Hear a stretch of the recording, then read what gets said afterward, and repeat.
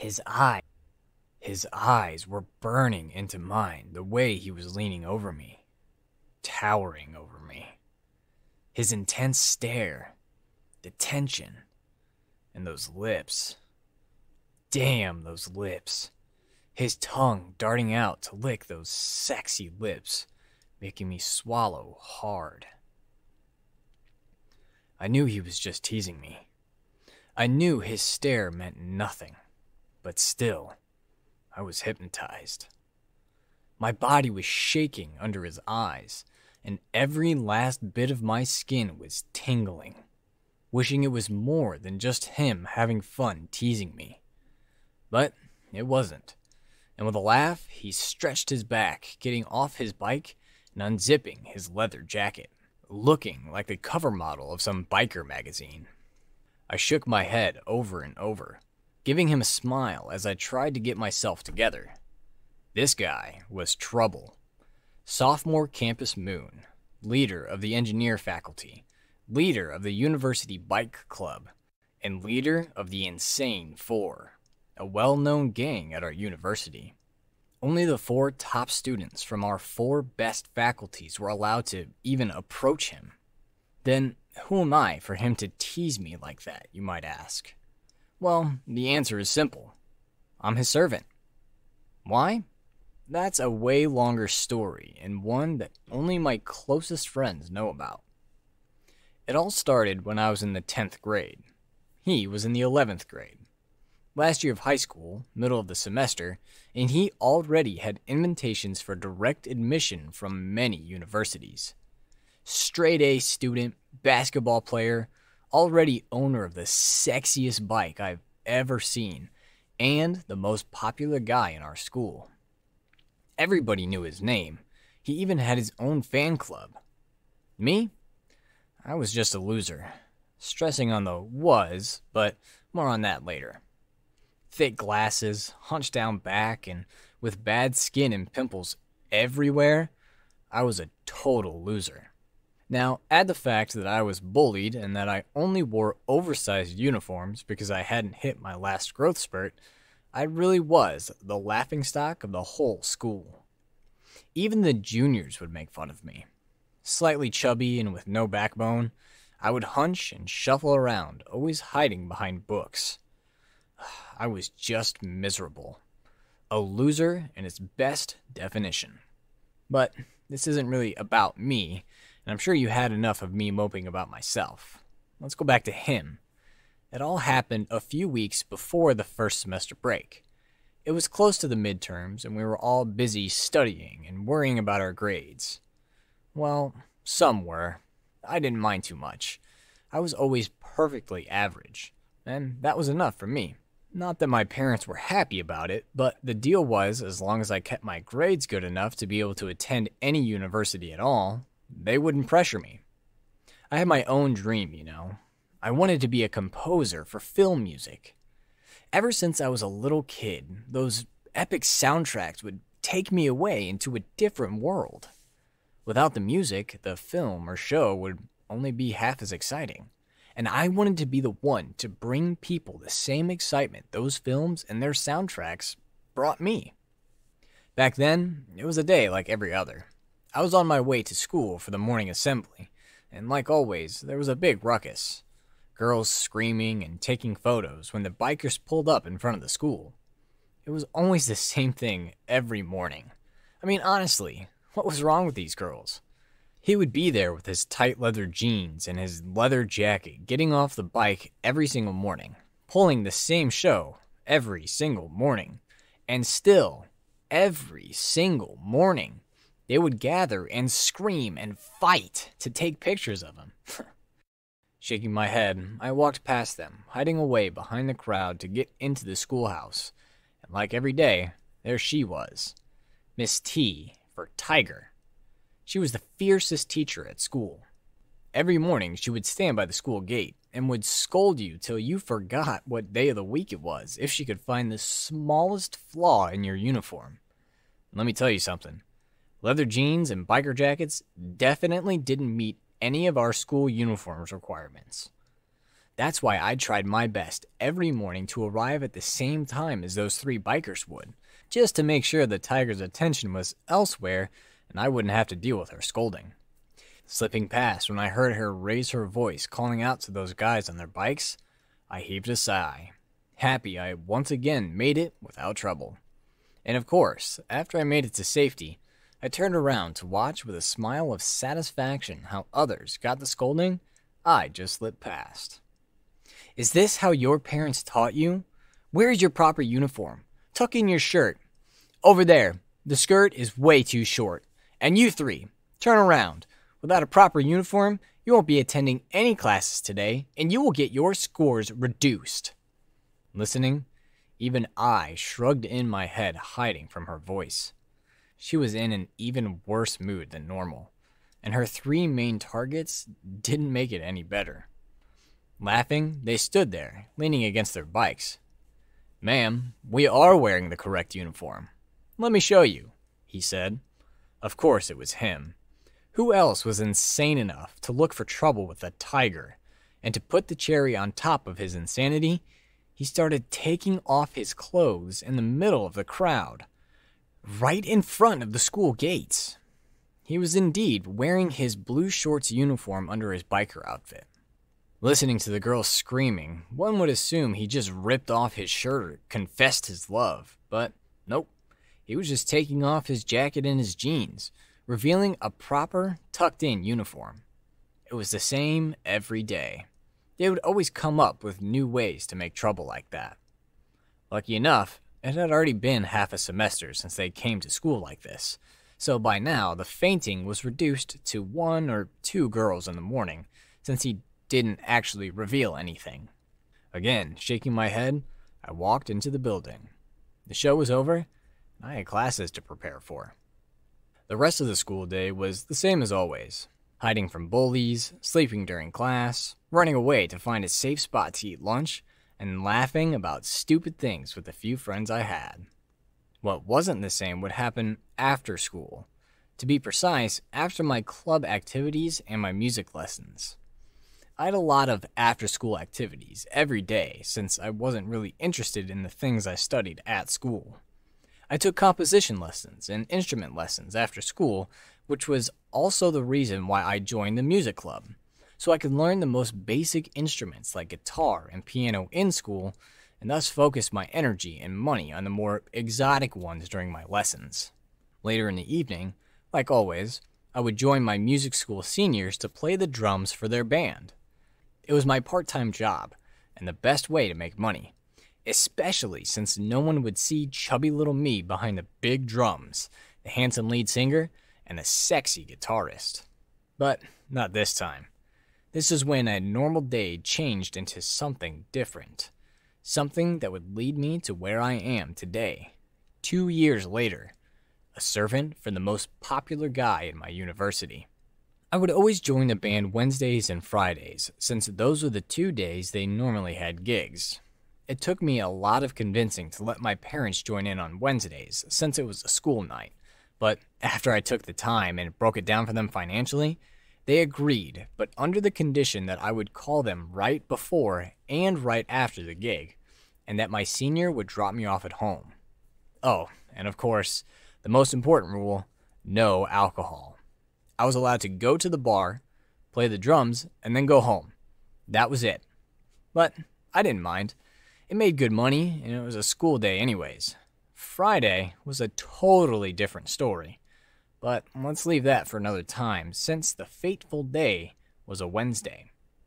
I hid myself behind the drums as best I could, like every day, and smoothly finished the performance. As always, the bar was packed with girls cheering for our lead singer and boys trying to get our guitarist's attention. And as always, she just brushed them off in a chic, cold manner, turning her attention to me. Hurry so I can take you home. We can party double this Friday for ditching today.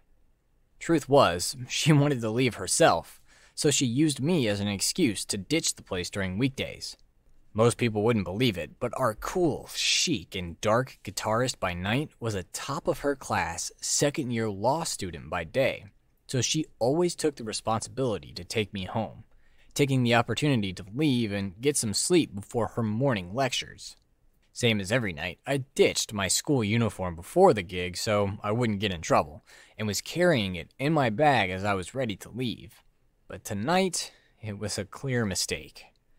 Bumping into someone, my bag dropped and my uniform fell out. Clearly, that alone wasn't that bad. But this fateful moment was the start of the semester break from hell, and the event that would make me what I am today a servant. Looking at the school uniform, I leaned down to pick it up, not thinking too much about it. But someone else already grabbed it. Smiling, I tried to take it, just to have it pulled away, making me look up at the owner of that elegant but manly hand. The hand was attached to a muscular arm, and following up the arm, I saw a white, tight fit t shirt, hardly hiding the owner's tattoos. Looking up further, I finally saw his face. Every color left mine when I saw his face. Mr. Biker Magazine cover model himself. Fuck. I cursed in my mind. I was sure that guy would have no idea who I was, but he would recognize the uniform. Hey, look here. Isn't that our school? What's a high school student doing here at this hour playing in a band? He sneered a little, looking right at me. Instinctively, I hunched over, pulling in my neck like a little turtle, making myself as small as possible, not wanting to be seen. Nong Yu, hurry! Perfect. It couldn't get better. The guitarist just called my name to make me hurry, and at the same time gave it away to those guys. Now, I was in a total ditch. You, huh? Well, little you, what would the school say if they knew how their students behave outside class? I couldn't help but snort. This guy wasn't for real, was he? I mean, look at him. Clearly tipsy, his arm around a young, pretty girl, and bottles of alcohol on the table. But then again, who would tell on him?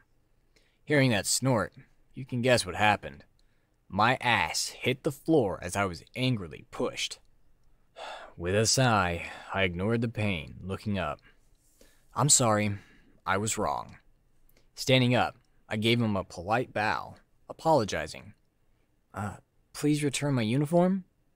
Stretching out my hand, I really hoped he would do it. But come on. The story would be over right here if he would just be all polite, like, Oh, I'm sorry, here's your uniform. I hope you didn't get hurt too badly falling down. So, yeah, I'm sure you can guess what happened next. No way. If you want this back, you can come find me at school tomorrow. Let's see what they have to say about this. Sneering and laughing, the boy held this, meaning my school uniform, up so I couldn't reach. Sighing again, I couldn't do anything but sign my own death warrant. Nodding my head, I gave him and his friends a polite greeting. Then I hope you will return it to me tomorrow. And with that, I turned around and left. Don't get me wrong, it's not that I didn't have any backbone or any energy to fight or even a rebellious thought back then. The reason I left was simple. Start trouble here, and you will not only get served, but might actually get in deep trouble. If I leave and push it until tomorrow, at least at school I know where to run and where to hide. I might be a coward, sure, but I was a coward that would choose his own grave, and it wouldn't be this pub. The car ride home was quiet. P. Minnie, the guitarist, dropped me off. I told my mom that I left my uniform at school and would bring it back tomorrow, and then I went straight to my room. I had eaten dinner before the gig, so I wasn't hungry, and to be honest, even if I hadn't eaten before, the fear twisting in my intestines would have made it impossible to eat anyways. I was turning and twisting in bed that night, awaiting my judgment day. I'm sure normal schools wouldn't make a big deal out of a student working part time or even being at a pub. They would just keep it quiet and hope said students wouldn't ruin the school's reputation. But, well, that's what you get for attending one of the more prestigious schools. They had a no tolerance rule, and the second anything that could even remotely taint the school's reputation got their attention, it would be strictly supervised. and made sure to be kept contained, and the student would be punished accordingly. If those guys had decided to tell on me, this story would have turned out differently, and I would have been suspended from school, grounded for the rest of my life, and forever tainted. But come on, you all knew that they wouldn't just tell on me, right? So I won't create false tension and just tell you what happened the next day during lunch when I found the courage to ask for my uniform. I was shaking on my way down to the basketball court at the back of the school. I told you it was a luxurious school. You could tell those guys were there by the screaming flock of girls around the court. I mean, not to be spoiling the fun or anything, but what's so important about guys running around in tank tops, dripping with sweat, that you had to scream for them?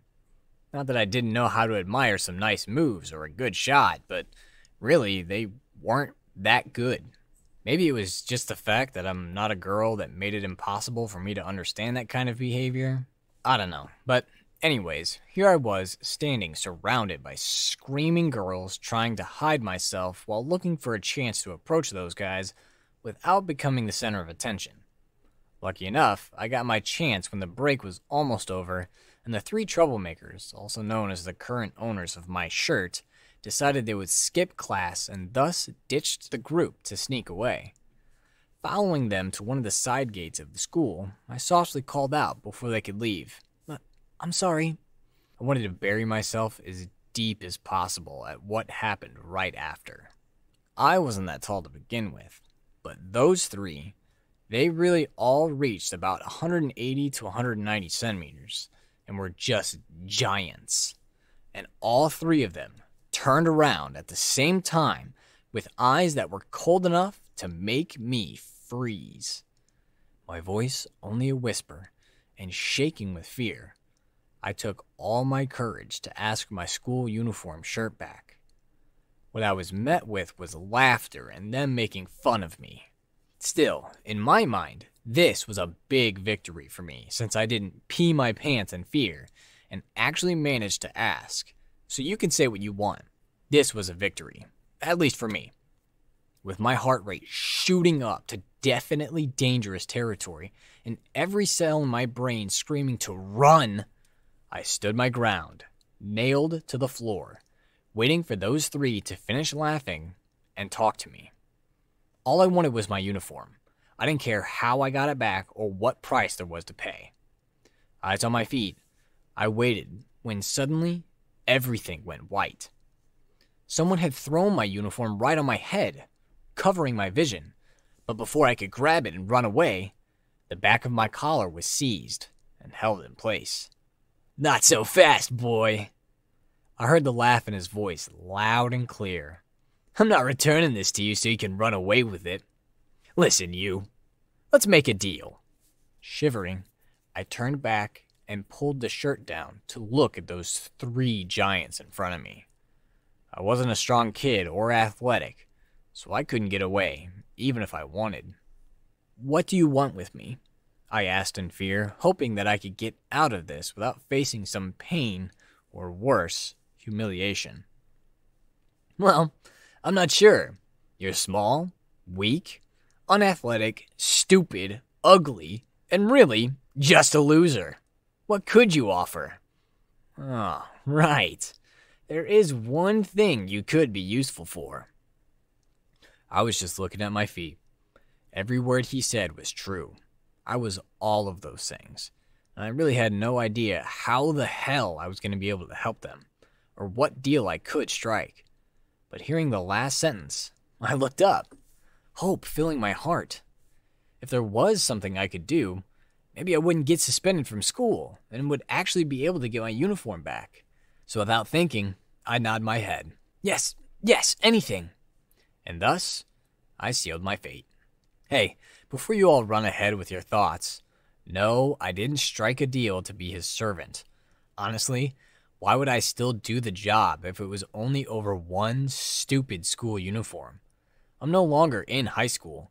I'm actually playing in a band now, with university support. So there's no way in hell that would be the reason why I'm still his servant after two years. I told you, it will be a long story. So get yourselves together and listen. here is what actually happened. With three similarly evil smiles, they leaned over me. You're part of the band, right? Every Wednesday and Friday, you have a gig at the local pub. This semester break, you will take us there for every one of your gigs and use your status as a band member to get us in without trouble, their leader spoke. And get some girls for us, one of them added. Yes, their leader was damn sexy and hella good looking, so he never had trouble with girls. But the other two, well, not that they were ugly, but they had those typical everyday looks about them that made them, right next to the leader, just lose their appeal. They were the type of guy you would normally look at once thinking, hmm, he doesn't look bad, and then never think about it again. It's the same principle with diamonds. If you see a fake on its own, it looks good. But then when you compare it with the real one, suddenly you see how ugly it is. The pub the band was playing at was really popular with the local university students, especially girls. So, of course, every guy wanted to claim it as their hunting grounds but they would always give preferred treatment to girls, and only after let in boys, and only those that were either good looking or close with the bouncer. I later found out that the trio had a run in with one of the bouncers, and consequently weren't easily allowed in. Seeing my status as a band member and the fact that the band was playing Fridays during high season, of course they thought of using me to get into the pub and to get the attention of some of the girls. Nodding my head over and over, I agreed to the said deal, and finally managed to run away with my legs trembling and tears running down my face. I was scared of them, like a little mouse is scared of the big bad tiger coming to eat it.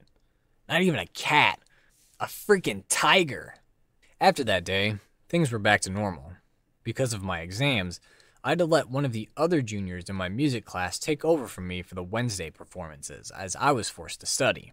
It was part of the deal with my loving and always worrying parents. During the next few weeks, I would study in the morning, go to my instrument lessons in the afternoon, and listen to my seniors complain about the substitute drummer. that last part always made me smile. Knowing there was something I was good in, even better than others, always made me smile. I still played Fridays, but couldn't stay at the pub after the gig until finally the long awaited day of freedom was upon us. The last day of tests, and with that, the beginning of our semester break. When I was young, I always imagined this day to be something dramatic, with people throwing their class notes around to celebrate their freedom, and gathering up after school making campfires with the leftover books and papers you wouldn't need anymore. But Let's be real. It was just a fantasy. In reality, the last day of class was different. I'm sure you were all in school once, and you all remember how it was when, finally, the last exam was over and you were free. Yep, it's the same everywhere. You leave school as quickly as possible while collecting your friends to go out for food and enjoy the freedom, or maniacally obsessing over comparing exam answers, or whatever you wanted to do. There was no synchronized paper throwing, no big party, or anything. For me, it wasn't even the end of school.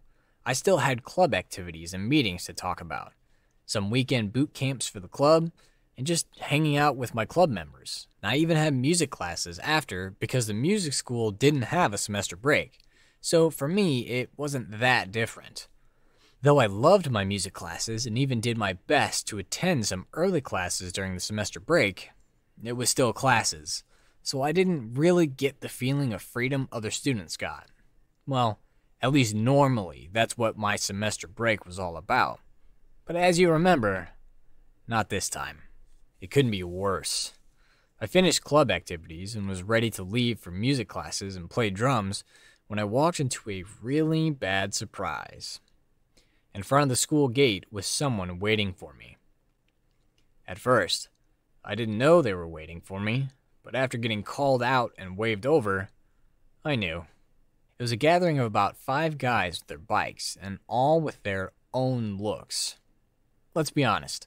In high school, how many good looking guys did you have? One? Maybe two per, like, grade if you were lucky enough? And those few good looking guys didn't all get along. So if you have a group of five guys that are all popular, it's mostly because one or two of them were good looking and the other ones would get a passing grade in looks because they weren't because they weren't bad to look at, but not like the type you would stop and look at if you saw them in the streets.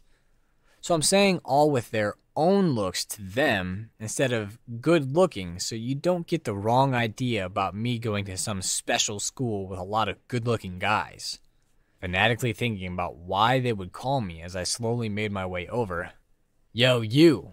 These are the guys that will tag along to your gig tonight, Mr. Biker magazine model explained. I'm sure you guessed already that he was the one waiting for me in front of the school, so no need to make clear who those others were, right? I nod at him with my head lowered. Understood. I'll get you inside the pub later. For some reason, my answer made them laugh. Confused, I looked up again. Did I say something wrong? I asked, curiosity killing my fear. You really think I'd let you out of my sight before you held up your end of the deal? This was the first time I encountered that look. The intensity it was burning with, the hunger behind it, the need to control and cause pain and trouble. The look that, back then, filled me with pure fear but now fills me with different thoughts. It was the first time he put his eyes on me with that view. It was a soft version of it, since he was still young, and didn't yet know what effect that look would have on a lot of people later on. But it still had the biggest effect on me. Sweat was running down my body. Every small hair on my back was standing straight, and I was frozen on the spot not able to do anything. With a laugh, he pulled his eyes off me, satisfied to see the fear in my face. Get on his bike, you. We'll keep an eye on you to make sure you don't pull any tricks.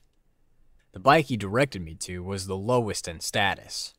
The bike itself was good, but the biker was the one that had the lowest status in the group, making my position clear. I was a tool, or maybe a pet, they could use to get into the pub and thus needed to keep an eye on me, but didn't actually want to bother with me. So I was pushed to the one that couldn't refuse. The boy I was pushed to did look nice enough to not make me shiver in fear, but I was still cautious. He was riding with the others, so he was definitely part of the gang. The three leading were the boys from my school. After them were the two I didn't know. Back then, I didn't know they were from a different school, but used to be friends with the leader during middle school before he changed schools due to his father's work. Like that, suddenly I was riding with the members of a biker gang as they made their way to my music school to keep me in check until I satisfyingly fulfilled my duty for the first time and showed them that I would stay true to my word. It was honestly a funny picture. The boys knew how to ride, and I was scared out of my wits. Red lights, traffic jams, street signs. Nothing was holy to them, and I don't even want to talk about speed limits. All I could do was tightly grab onto the side of the bike, not wanting to touch the guy in front of me, scared he would get angry. The air was hitting my body. I was wearing a helmet, I wasn't that irresponsible, but I could still feel the wind against me the speed, the feeling of fear, tasting blood in my mouth from biting my lips tightly to suppress the screams of fear. When we arrived, I couldn't even stand because my knees were so weak. Making fun of me because of that, the group of guys went to get dinner close to the music school building, leaving me finally alone. I was sitting there, on the bench in the lobby like a left alone pet, still scared and shaking. Back then, it took me a long time to get over the fear and attend my classes. After, I was again ganged up by those thugs, but this time I had both P Mini and P Par with me. P Par is the lead singer of the band and a big, strong, handsome, self assured guy. With him next to me, I didn't fear those thugs as much. Are those the friends you invited to the gig tonight? P Par asked me with his arm around my shoulder and the other squishing my cheek like I was some child. With a smile, I nodded excitedly.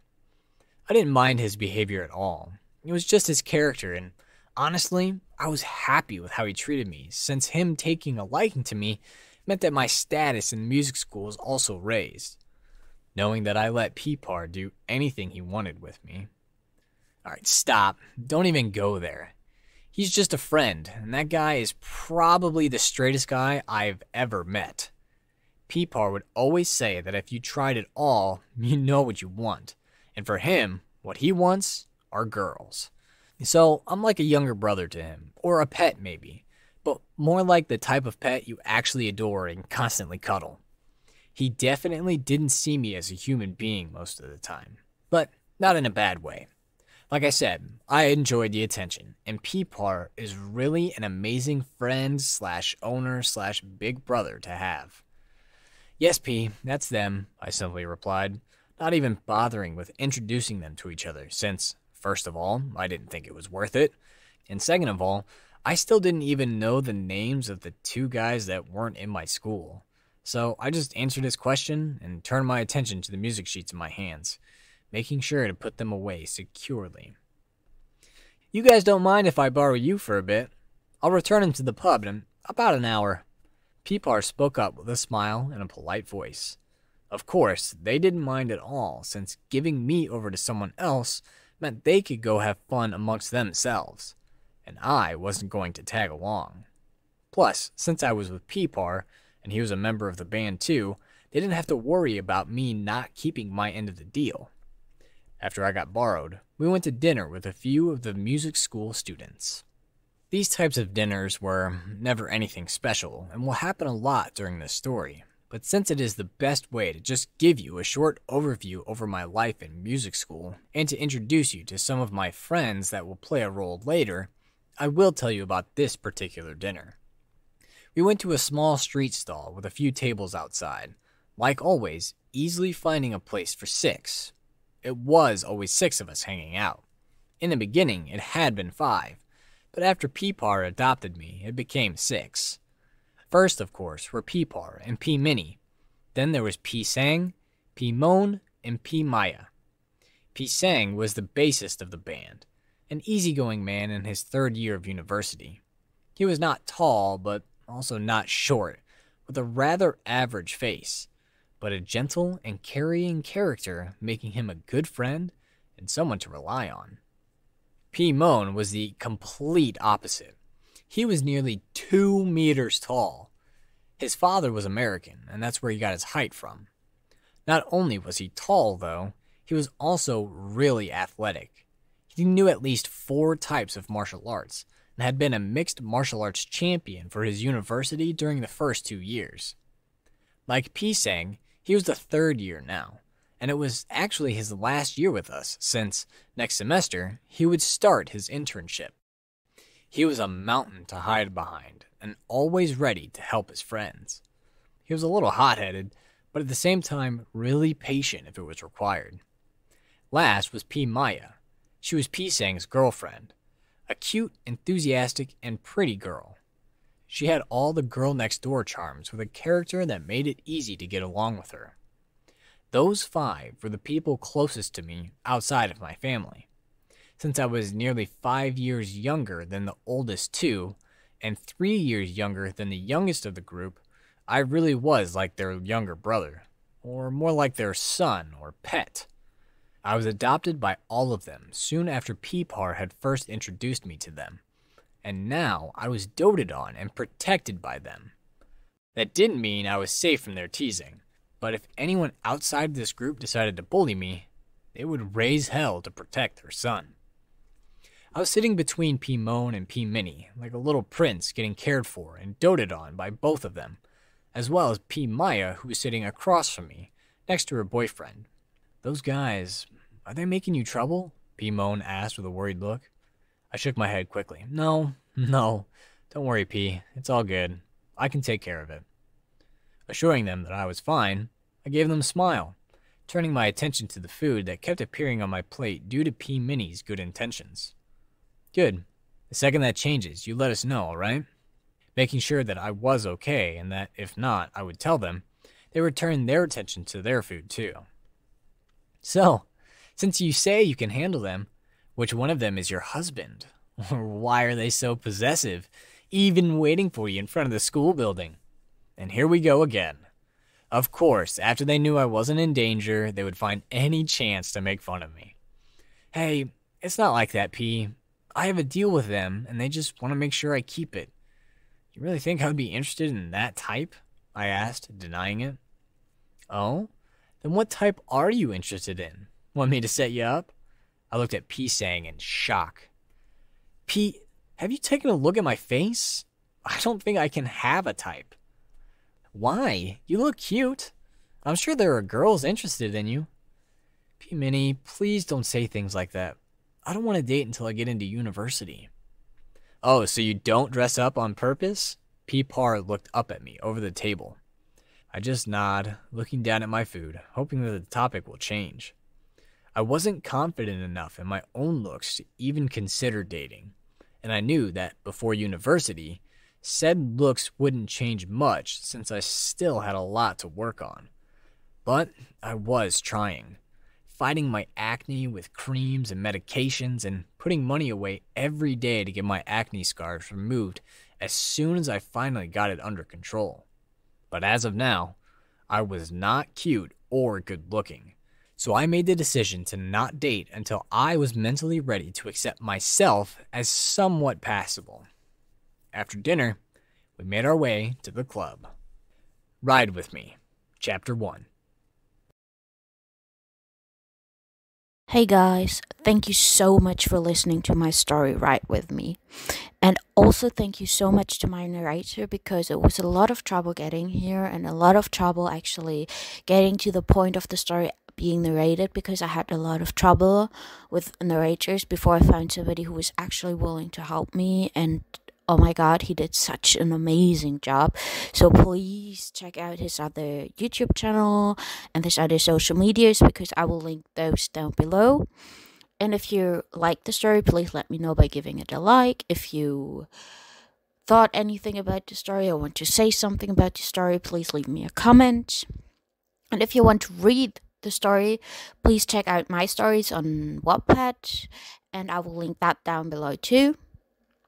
And other than that, please wait for chapter 2 because it will be narrated perfectly again. And please subscribe if you're waiting for the chapter 2. Thank you. Bye bye.